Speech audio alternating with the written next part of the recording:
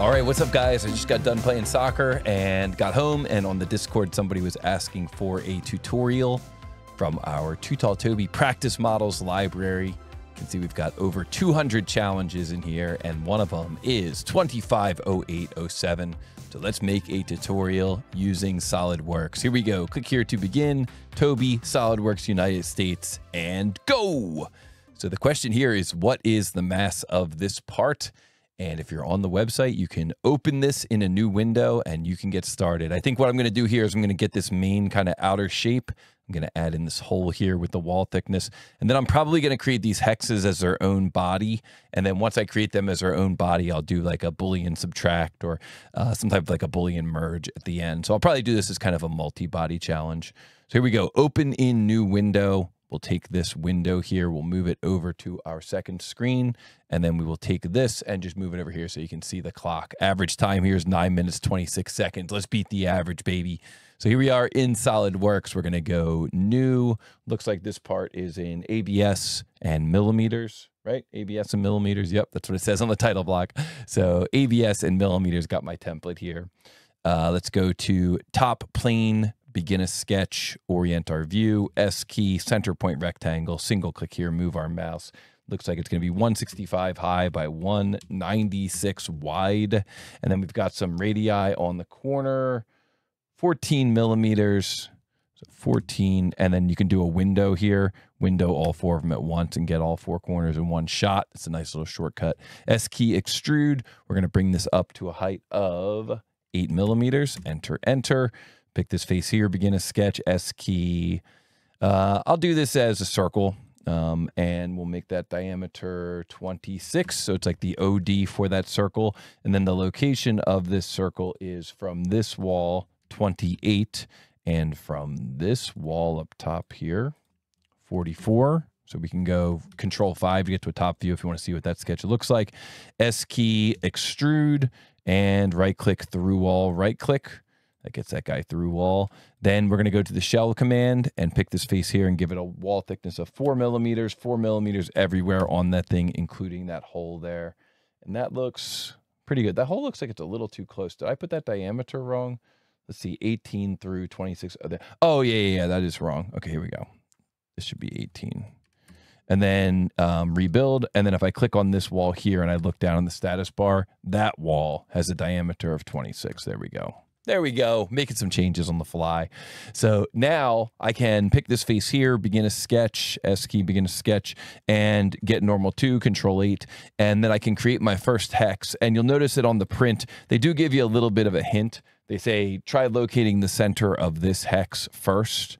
So we locate this hex here at 28 over, and then we locate this hex here at uh, 58 down. Whoops, 58 down from here. 58.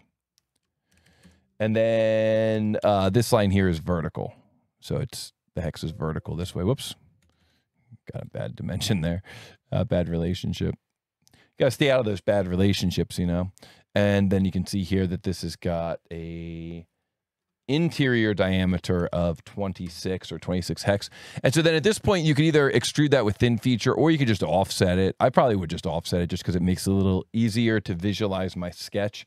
So the wall on the internal hex web is two millimeters all around, two millimeters for everything, and then just make this circle here for construction as well.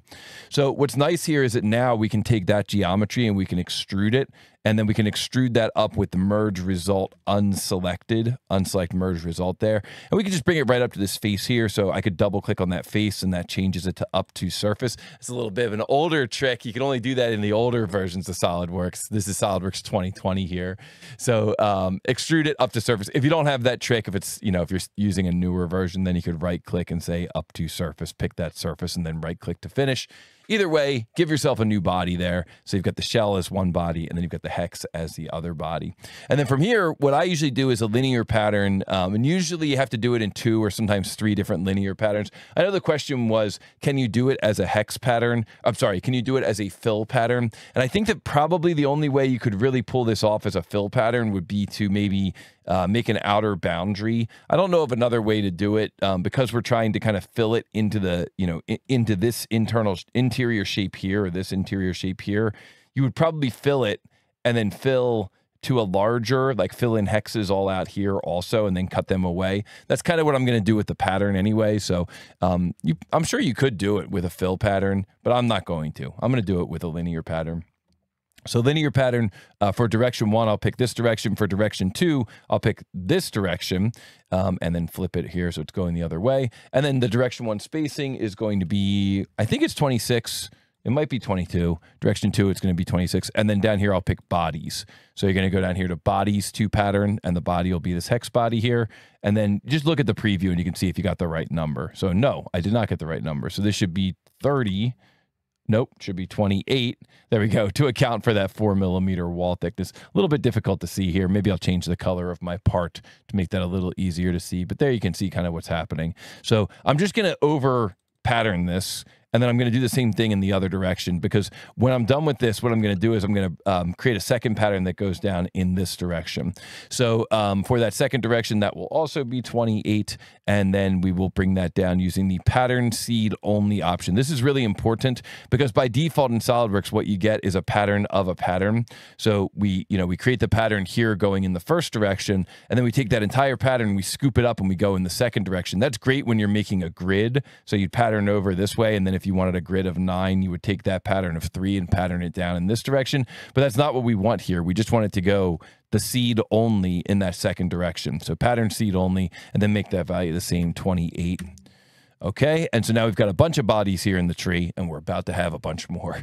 And so now we're going to create a pattern in this direction. Now, one thing you can do to accomplish this is you can go back to that original sketch of the hex. So we could call this here hex shape one.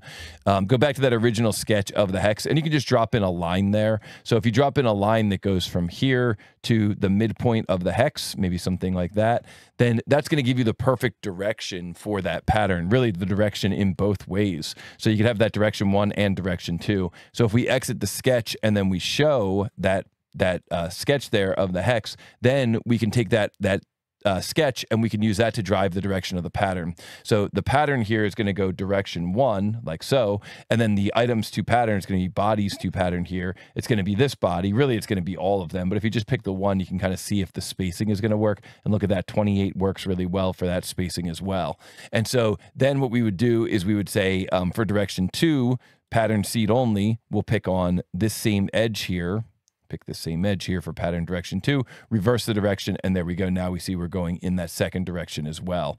And so down here where we say bodies to pattern, we're going to pick all of these hexes here. So you can see that we are over uh, patterning this thing. We're trying to overfill. We're trying to make sure that we're covering everything. And really, that's enough right there. I don't actually need that last one. And then going over here in this direction, let's see, that's enough right there. I don't need any more than that. So certainly I could go back and refine that original pattern, but it's not really necessary. We're going to cut away everything anyway. So the final thing I would do here, maybe just for performance, is I would kind of dial these down a little bit just to make sure that I'm overfilling everything and hit the green check mark and boom, that takes care of that pattern. Now, honestly, at this point, just to make things a little bit easier for the cut, I would probably take this very first body here, hex shape one, and see here, this is shell. That's the underlying body. I'll take this hex shape one here, and then I'm going to hold shift, and I'm going to come all the way down to the bottom here, pick this very bottom body. Then I'm going to let go of shift, and I'm going to right click. So I've selected all 80 bodies there, right click, combine, and then that's going to be a combined add. And what that does is it just turns all those individual hexes into one body, and that just makes this next step a little bit easier. So now when we get to, whoops, wait, I didn't mean to get that very first, didn't mean to get the shell, right click, delete the shell. I did not mean to include that. That was an accidental click there. So there we go. Now we've got the shell as one body and we've got the combine as another body. So now I could pick on this face here, begin a sketch, and I can do a convert entities and then I could also do um, this edge here, just this edge of the circle here, right there, convert entities. So if I hide the shell, you can see what that um, sketch looks like. So I just converted the, the lower face of the shell, the lower inside face of the shell. And then I also converted the circle there, which is on the outside face of that um, circular boss. And so now I'm going to take that geometry and I'm going to say features extruded cut. And then the extruded cut is going to go through all And then for the through all, I'm going to say flip side to cut. So normally if I did a through all, I would be removing everything that's kind of on the inside of this boundary.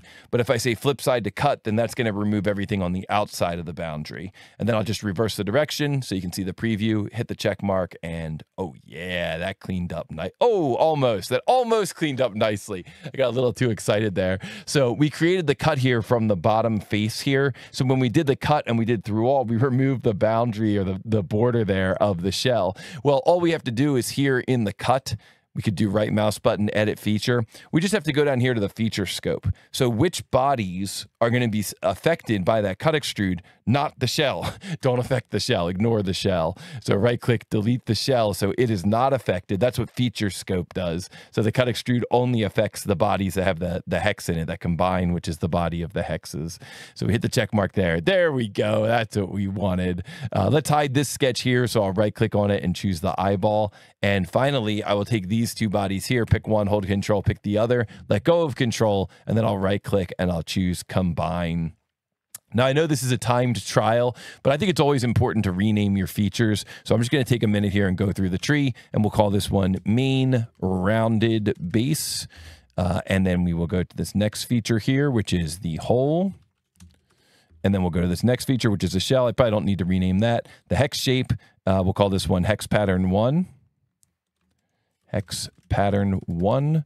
We'll call this one hex pattern two hex pattern 2. We'll call this one hex pattern combine, or we could just call it combine hex shapes, something like that. Shapes. And then we would call this one cut, probably call this something like cut away hex shapes. And then this would be here the final combine final combine. So like I said, I know it's a time trial, but you know, we're trying to teach people best practices here on the platform and it is absolutely a best practice to rename your features. I'm going to go in here to my my uh, feature here that says sensors. I'm going to hold control and press Q, do a control Q for a final rebuild here. Updates the mass here to 158.1. What is the mass of this part in xxx.x grams? Let's try it here, 158.1 and enter and oh yeah, we got it correct. So our answer there was 158.1 grams, and that is correct. 11 minutes, 48 seconds. CAD system is SolidWorks, and we choose submit. And that gets us one more point, and it gets us one step closer to completing all of the models that are in the library. That always feels good. Now, we were a little bit slower than the average time, so maybe we could use the try again function here to go through and to uh, update and get uh, a faster time, try and beat that average time. I always try to beat that average time, but you can see here that under data and analytics, now that I've completed that model, I can scroll down here and I can share my tutorial video with the community. And so that is what I'm going to do next. I'll edit this video, I'll post it on YouTube, and then I will share that with the community. And if you enjoyed this tutorial, let me know down in the comments. If you have any questions or if you're stuck on this model, let me know that down in the comments as well. And if you learned anything cool from this tutorial, be sure to hit the like button, be sure to subscribe, and of course, let me know what you learned down in the comments as well. And I'll see you in the next Too Tall Toby tutorial.